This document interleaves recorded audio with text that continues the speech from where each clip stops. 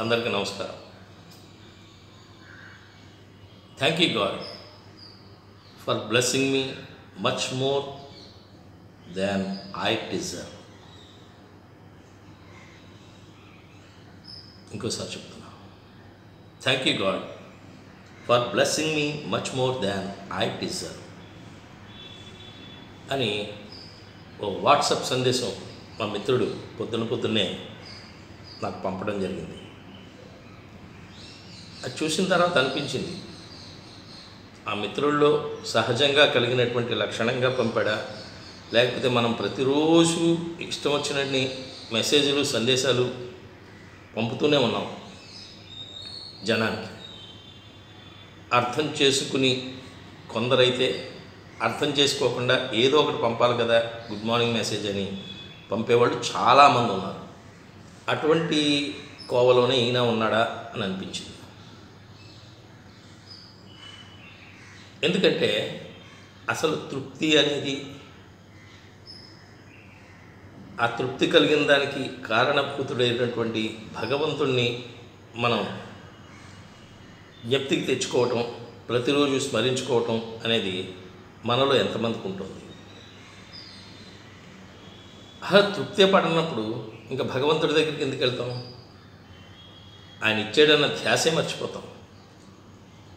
ఎప్పుడైతే తృప్తి మనకి సాటిస్ఫాక్షన్ కలిగిందో లేదా భగవంతుడి పట్ల అప్పుడు కృతజ్ఞతా భావన పెరుగుతూ ఉంటుంది.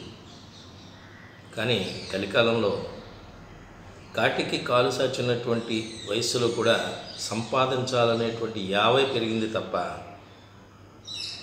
ఇప్పటిదాకా ఈ నలభై యాభై ఏళ్ళ నుంచి మనం సంపాదిస్తూనే ఉన్నాం. ఏదో కొంత ఎంతో కొంత సాధిస్తూనే ఉన్నాం. ఇంకెక్కడికి ఆపుదాం.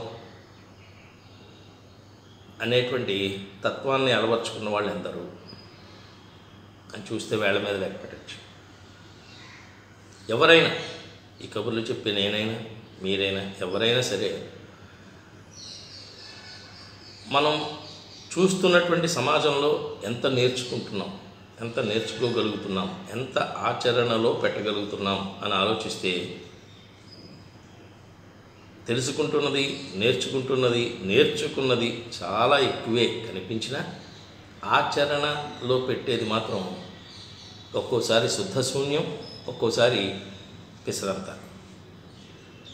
అంటే ఆకాశం అంతా చేయాల్సిన ఆచరణ పిసరంత చేస్తున్నాం. కానీ పిసరంతలోనే ఆద మా ఆనందాన్ని వెతుక్కోవాలని చూడాల్సిన విషయంలో ఆకాశం అంత తాపత్రయం పడుతున్నాం. ఇక్కడే చిక్కొచ్చి పడుతుంది.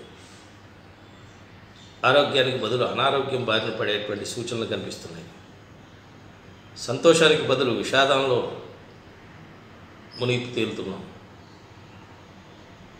సుఖాలకు బదులు కష్టాల్లో అనుభవించాల్సిన పరిస్థితి వస్తుంది.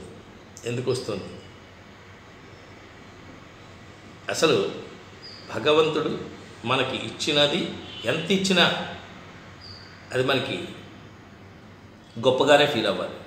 కానీ ఈరోజు మనం చూస్తున్నాం కొంతమంది అన్యాపదేశంగా కోటీశ్వరులు అవుతున్నారని మనం వాళ్ళకి పడి ఏడుస్తున్నాం. లేదా ఆ కోటీశ్వరులు అయిన వాళ్ళకి కష్టం తక్కువ మనకి కష్టం ఎక్కువ అయినా సరే భగవంతుడు మనల్ని ఇలా చిన్న చూపు చూస్తున్నాడేంటి? నెలకి పాతిక వేల రూపాయలు యాభై వేల రూపాయలు రావడమే గగనం అయిపోతే కొంతమందికి లక్షల రూపాయలు వస్తున్నాయి. కానీ వాళ్ళు కష్టపడింది ఏముంది? ఏదో గుడ్లో మెల్లలాగా అదృష్టం కలిసి వచ్చి వాళ్ళకి వాళ్ళకు ఉన్నటువంటి ప్రాపర్టీస్ పొలాలో పెరిగి అపర కోటీశ్వర్లు అయిపోయారు ఆల్ ఆఫ్ ఎ సడన్ అని మనం అవతల వాళ్ళ గురించి బాధపడుతూ ఉంటాం. ఆ బాధతోనే మనం కొన్ని బాధలు కొని తెచ్చుకుంటూ ఉంటాం. కానీ నిజానికి సంతృప్తి అనేది ఎవరో చెప్తే వచ్చేది కాదు. మనకి మనంగా నేర్చుకోవాల్సింది ఆచరించాల్సింది. సంతృప్తిలో భాగంగా పొదుపు అనేది అవసరం. ఎందుకంటే జీవితం ఎప్పుడు ముగుస్తుందో మనం చెప్పలేము కానీ భవిష్యత్తుని ఆధారం చేసుకుని ఆశతో శ్వాసించేటువంటి మనుషులం మనం. కాబట్టి తప్పనిసరిగా మనం అటువంటి విషయంలో కొంత పొదుపు చర్యలు పాటించాల్సినటువంటి అవసరం ఉంది. కానీ జీవితమంతా పొదుపే చేస్తూ మనకున్న దాంట్లో ఇతరులకి సాయపడాలనేటువంటి ఆలోచనను మాత్రం పక్కన పెట్టేస్తే అదెంతవరకు సమంజసం?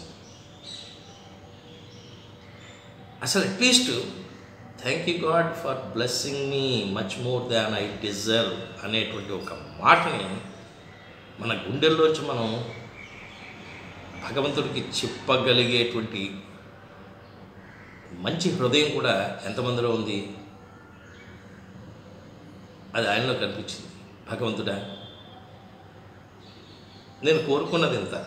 కానీ నువ్వు ఇచ్చింది ఎంత? కాబట్టి నీకు నేను సర్వదా సదా కృతజ్ఞుడను అనేటువంటి భావన ఆ కోట్లో కొటేషన్లో మనకు కనిపిస్తుంది చెప్పానుగా పొద్దున్న కొన్ని వందలు వస్తూ ఉంటాయి. ప్రతి కొటేషను మనం కనుక చదువుతూ ఉంటే వెంటనే రోమాలను ఎక్కుపరుచుకుంటూ ఉంటాయి ఈరోజే ఆ పని మొదలు పెట్టేద్దాం. ఈరోజే ఆ కొటేషన్లో ఉన్నటువంటి అంతరార్థాన్ని గ్రహించేసి వెంటనే గొప్ప మానవీయ వ్యక్తులుగా మారిపోదాం అని అనుకుంటూ ఉంటాం. కానీ ఆ కొటేషన్ చదివి మళ్ళీ ఇంకొక వాట్సాప్ మెసేజ్లోకి వెళ్ళేటప్పటికి యువతలది మర్చిపోతాం. అసలు యువతలది మర్చిపోవడమే జరిగితే ఇంకా ఆచరించడం అనేది ఉంటుంది కాబట్టి ఫ్రెండ్స్ నిత్యం కూడా మనకి మన తోటి మనుషుల సాటి మనుషుల రూపంలోనే ఎవరైనా మనకి కనుక సాయం చేయగలిగితే సాయం చేస్తే వాళ్ళకి మనం కృతజ్ఞత చూపించాల్సినటువంటి కనీస నైతిక బాధ్యత మనలో ఉంది. కానీ ఈరోజు ఎవరి కోసం చేయలే ఎందుకు చేయలే అని పిల్లలు అనుకోవడం. లేకపోతే పిల్లలు సంపాదించిన దాంట్లో తల్లిదండ్రులు మనకెందుకు ఇవ్వట్లేదు? వాడిని అలాగని పెంచామా? అలాగని చదివించామా? ఇంత పెద్ద పెద్ద చదువులు మనం తిండి తిన తిని తినక అనుకుంటూ తల్లిదండ్రులు. అలాగే ఏమిటి? వాడంత పొజిషన్లో ఉన్నప్పుడు కనీసం చుట్టాలు ఉన్నారు బంధువులు ఉన్నారు. వాళ్ళని కనీసం చూడాల్సినటువంటి ఆ ఆ సంప్రదాయం కూడా ఆ సంస్కారం కూడా వాటికి నేర్చుకోలేదు. వాడికి ఆ తల్లిదండ్రులుగా వాళ్ళు ఎవరూ నేర్పలేదు అని చుట్టుపక్కల బంధువులు స్నేహితులు అనుకోవడం ఇవన్నీ చూస్తూ ఉంటే మన సమాజం ఎడిపోతుంది మనకున్న దాంట్లో మనం గర్వంగా తలెత్తుకుని నాకు ఇది చాలు. ఇంకా ఏదైనా వస్తుంటే భగవంతుడు ఇస్తుంటే అది బోనస్ అనుకునేటువంటి తత్వం మనం పెంచుకోవాల్సిన అవసరానికి బదులుగా తుంచుకుంటున్నాం తెంచుకుంటున్నాం.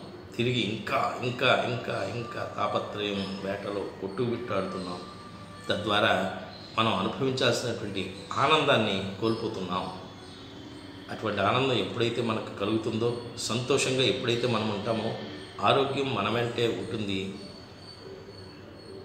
ఆరోగ్యం కోసం మనం మళ్ళీ దాచుకున్న డబ్బుల్ని కానీ సంపాదించుకునేటువంటి ఆ సంపదని కానీ ఖర్చు పెట్టాల్సిన అవసరం ఉండదు అని భావిస్తూ మరొకసారి ఆ దేవదేవుడైన భగవంతుడికి ఈ రూపంలో కృతజ్ఞత తెలియజేసుకుంటూ నేను కూడా నాకు ఇచ్చింది.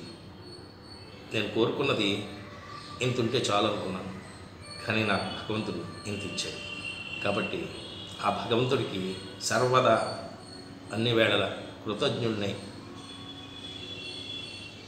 సమాజ సేవలో అంతో ఎంతో సేవ చేసేటువంటి పరిస్థితిని నా మనస్సులో పెట్టుకుంటానని నేను ఎలాగైతే ఇప్పుడు అనుకుంటున్నానో.